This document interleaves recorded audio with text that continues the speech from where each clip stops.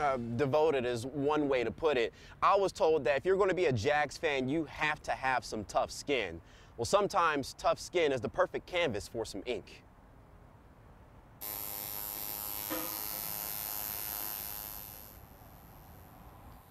Now, Jags fans, new and old, are getting tattoos of the team logo. Here's a few that were shared with us from the Bold City Tattoo. Vinny Battle, the owner of the tattoo parlor, says dozens of people have made an appointment to show love to Duval's finest. Now, Battle credits the historic win against the Chargers and the season turnaround. He says faith in the Jaguars organization has been restored, this after making the playoffs for the first time since 2017. To Battle, getting a Jags tattoo shows pride in the city. At the same time, it is a bold decision to make. So, you know, we're doing logos, we're doing Duval till we die, we're doing Duval tattoos, we're doing it all. You know, anything Jaguars related, you know, we're doing we're doing it. So definitely seeing a lot of more people coming in. We're getting hit up, you know, every day.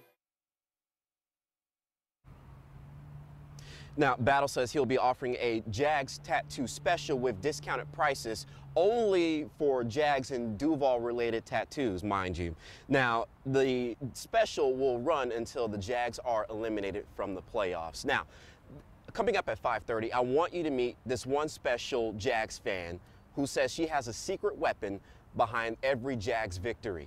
We're live at the TIAA Bank Field Stadium. I'm Tristan Hardy, First Coast News on your side.